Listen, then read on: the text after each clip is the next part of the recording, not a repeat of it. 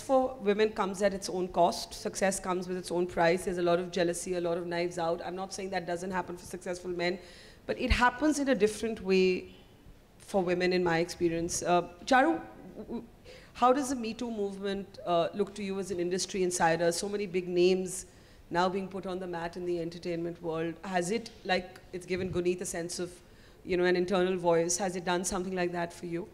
No, I feel it is a great movement and we should respect that and we should take it in the right way. It's very important that we take it in the right sense.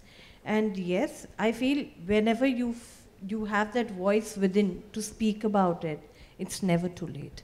Hmm. You can talk about it. Maybe 10 years you know, back, you didn't have that courage and strength, and you know, things and scenarios have changed. And you, if you feel lighter, you feel comfortable, and it's the truth that makes your life, the future life better, you should speak about it. It's very important. Well, I want to say that I think a lot of us are still articulating, holding hands, uh, figuring this out. I still feel what is very important right now is how we respond to this movement. Well, I do see a lot of men saying, "Oh, it's just momentary. Abhi social media se gayab ho hmm. jao.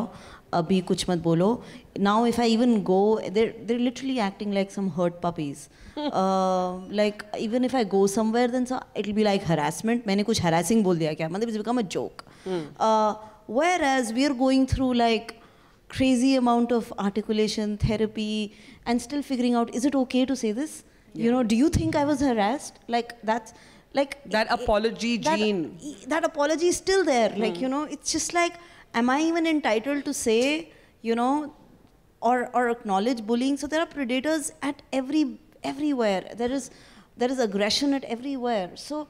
I think what has come to me with this movement is a deep sense of empowerment and a deep sense of recognition. And how, I, how we can respond to this right now is, I think, the most important. I do also want to say it's not about all these women putting their pain and their hurt out there for this movement to run.